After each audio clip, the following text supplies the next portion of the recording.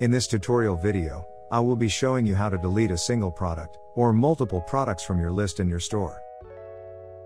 The first step is to click on one of your active plans, for example, Shopify.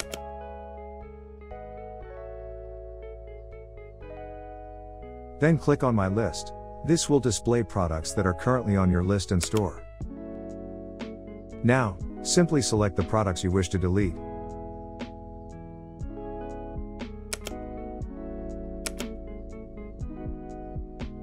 And click on these three dots. And click on Delete Products. This will delete the products from both your list and your store after a short period of time. If you wish to delete a large number of products, instead of manually deleting items one by one, you can use the delete filter. If you wish to delete items from your list and store, do not forget to turn your list on. If your list is turned off, then the items you chose to delete will be marked for deletion, and will be deleted once you turn your list on.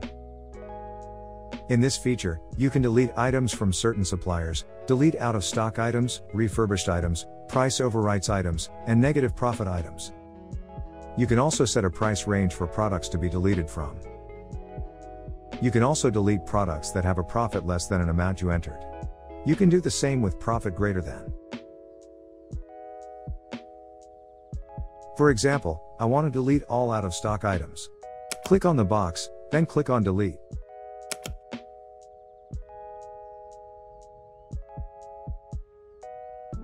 To identify which products are getting deleted, there will be a red ribbon marked on the top right of a product saying deleting. If you wish to check all products that are being deleted, you can click this drop down list. Then click on Items Pending Delete. It will display the amount of products that are getting deleted, and you can view the products getting deleted here. If you made a mistake and you want to undelete a few products, you can select the products you want to undelete.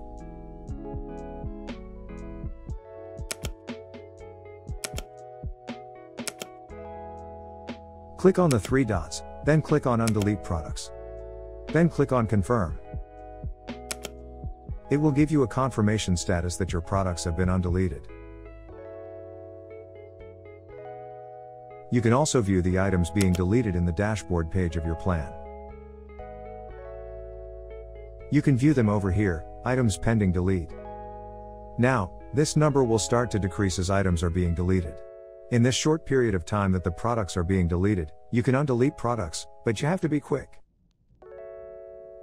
Thank you for watching, and don't forget to subscribe and like this video for future tutorial videos.